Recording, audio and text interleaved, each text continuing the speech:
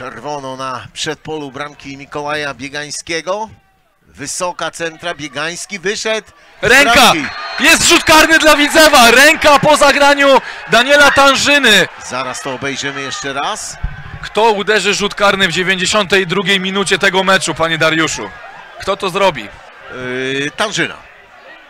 Na razie Michael trzyma piłkę w ręku. Czy to będzie Michael Ameyo, ten, który strzelać No, no, będzie no. karnego? Michael Ktoś proszę państwa, ustawia Chce piłkę. wykreować, ale dochodzi Mateusz Michalski.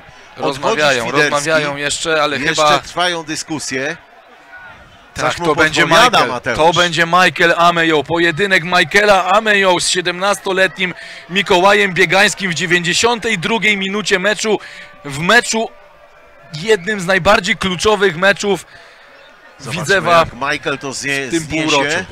Arbiter przesunął Karola Tomczyka, jeszcze ustawia gdzie jest. Michael z prawej nogi będzie ryzykował.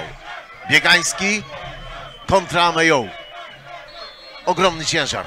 Drepcze w miejscu Ameją, strzela płasko, bita piłka! A więc nie ma tego karnego! Michael Ameją strzelił w słupek. Szkoda. Dobre uderzenie. Ojej, jej. Oszukał bramkarza. Dobrze, precyzyjnie strzelił.